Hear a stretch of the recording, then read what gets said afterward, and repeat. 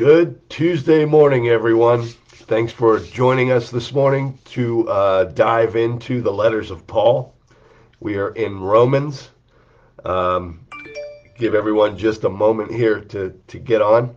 If you're driving, stay safe, just listen. Uh, if you're at home, grab your Bible. Uh, we are going to stay and get into the absolute truth right here.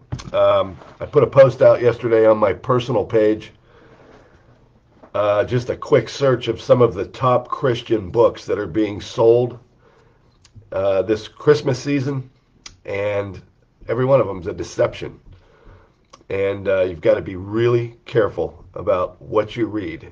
You know, the enemy takes a little bit of truth and he twists it with some philosophy. And Paul warns us about that. I put a, a scripture quote on there. I think it was Colossians 2 8.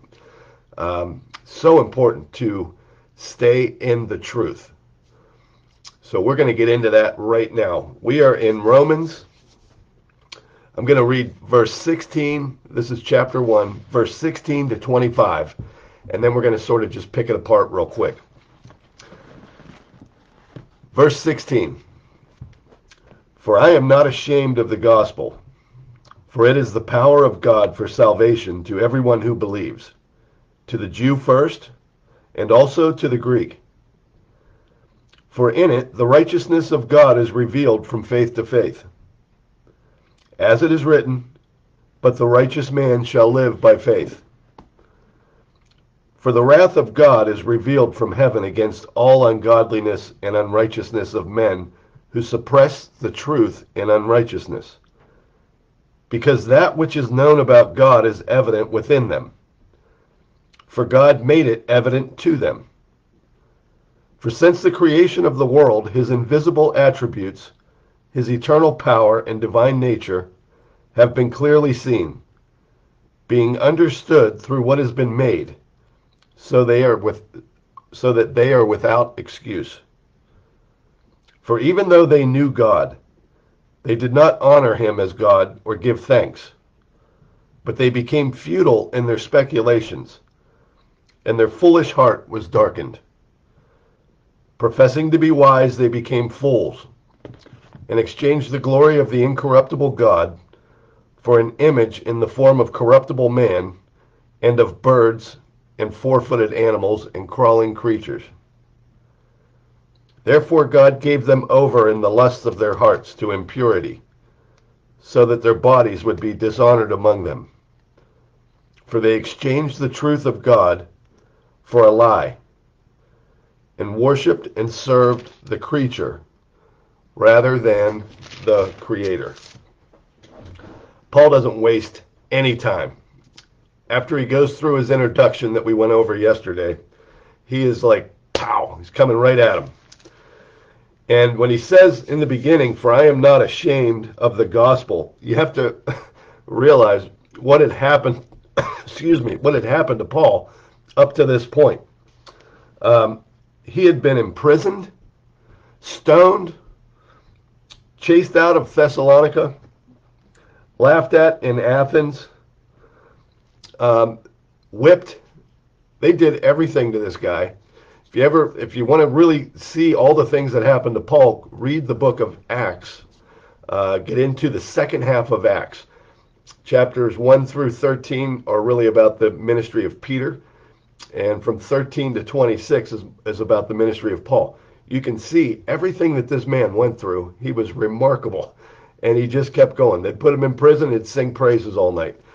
Um, so when he says, I am not ashamed of the gospel, that is a statement. Um, really, really big statement. For in it the righteousness of God is revealed from faith to faith, as it is written, but the righteous man shall live by faith. This is it really interesting here. Remember we said Paul was a Pharisee. He was a very studied Pharisee. He knew the scriptures inside and out.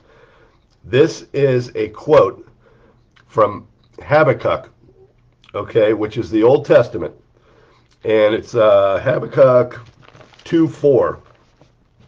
Chapter 2, verse 4. Behold, as for the proud one, his soul is not right within him. How about that? This is the Old Testament. But the righteous will live by his faith. That is Habakkuk chapter 2, verse 4. What Paul's doing here is introducing the fact that this is not a new concept. Salvation by faith is not a new concept. A lot of them thought that it was, but they just didn't see it in the Old Testament. They weren't they didn't have eyes to see and ears to hear. They did not see this. So Paul is making the case and he's beginning it right now with the fact that salvation by faith alone in Jesus Christ is not a new concept. It has always been there and he's quoting Old Testament scripture to make his case, and he's just setting it up uh, for the rest of the book. For the wrath of God is revealed from heaven against all ungodliness and unrighteousness of men who suppress the truth in unrighteousness. So as soon as Paul does that, he now brings in evidence of man's sinful nature. And I love this because this is something I go to a lot because that which is known about God is evident within them, for God made it evident to them.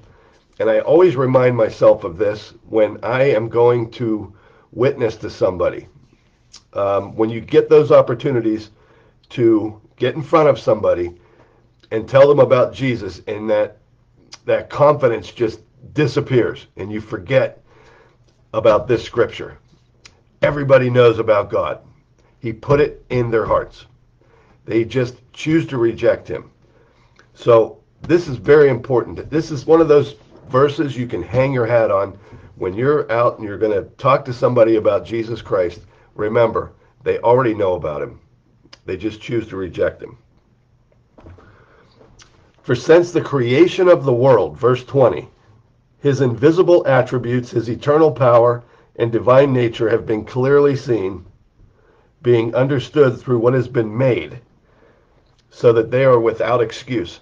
All of my fishing buddies out there, all the fly fishing guys that are that are tuning in to us, you know that when you step on a trout stream in the springtime and you see the way that everything in nature works. There is no way that it wasn't God that was behind that. I mean, everything from all of the small little insects that live on the bottom of the stream uh, that are available for trout to eat all through the year, depending on the water temperature and the type of water. There's always an insect for the trout to eat. There are birds that are fed by them once they hatch. The whole process is amazing. And if you're watching and you have a church that you want to have a presentation on this, I have a really cool presentation on um, Genesis and, and how it all works in nature. But this is so true. This is absolutely true. And this is something that everyone who read this in this day could understand.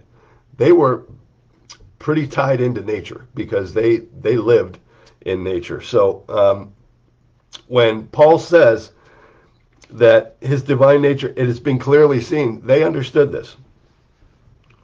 For even though they knew God, they did not honor him as God or give thanks, but they became futile in their speculation, and their foolish heart was darkened. Professing to be wise, they became fools. Um, this this next line here, I'm going to ask you to think about something. Professing to be wise, they became fools and exchanged the glory of the incorruptible God for an image in the form of corruptible man, and of birds, and four footed animals, and crawling creatures. I mentioned yesterday that the, the book of Romans is very, uh, very, very much parallel to our culture. Rome in this day was very parallel to our culture today in, in many different ways.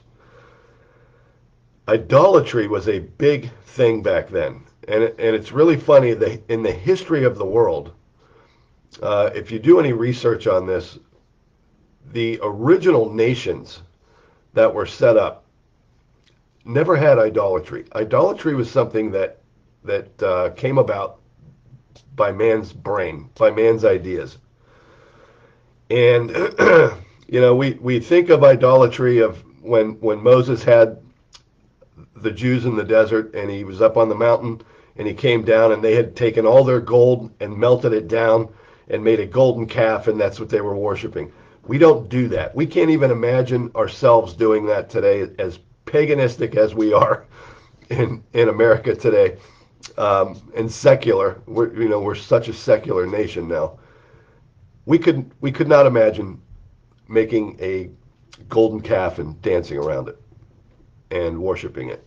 But I'm going to ask you to draw some parallels as we go through Romans. We're getting right now into the wrath of abandonment. And this is when a, a culture becomes so corrupt that God turns his back on the culture.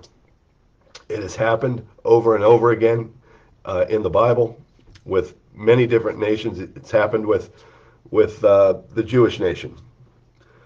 So, what's going to be described here tomorrow, you're going to see really clearly that it's exactly what happened in our country. But I want you to think about this, and I'm going to ask you to take a leap. And you have to be so careful when you do this because this is this is wh- where you don't want to make um, wild predictions out of Scripture. Just take it for what it says and think about it. So when it says they exchanged the glory of the incorruptible God for an image in the form of corruptible man and of birds and four-footed animals and crawling creatures. I'm just going to put it in your mind so that you have it there for tomorrow once we get into some more of this. This is the global, in my mind, the global climate, um, human rights, animal activists. This is the first form of idolatry, activism. Okay, and it's interesting that that it says right here in Romans that, that of birds and four-footed animals um, and crawling creatures. I mean, it's just I just want you to think about that as we go forward, and I'll tie this all back to this point, but you have to look at Romans. This book was written not for the people back in that age. It was written for them, but it was also written for us. It's written for everyone. So you can apply this book to your life, to your culture. This is the truth. Okay? Therefore God gave them over to their to the in the lusts of their hearts to impurity so that their bodies would be dishonored among them. For they exchanged the truth of God for a lie and worshiped and served the, cre- the creature, not the creator. The creature is us. We began to worship us. We do that today, don't we? Impurity is, uh, in this context, is, is sexual impurity. So as we move forward tomorrow, you're going to see, um, feel free to, to open the Bible up and, and read it. Read ahead. I'm going to explain to you what this means, this wrath of abandonment, and the order of things that occur to make that happen. It's fascinating. It happened in Rome 2,000 years ago. It's very, very pertinent to our culture today that's going to do it for today. Stay in the truth, folks. I love you. God loves you. I'll see you in the morning.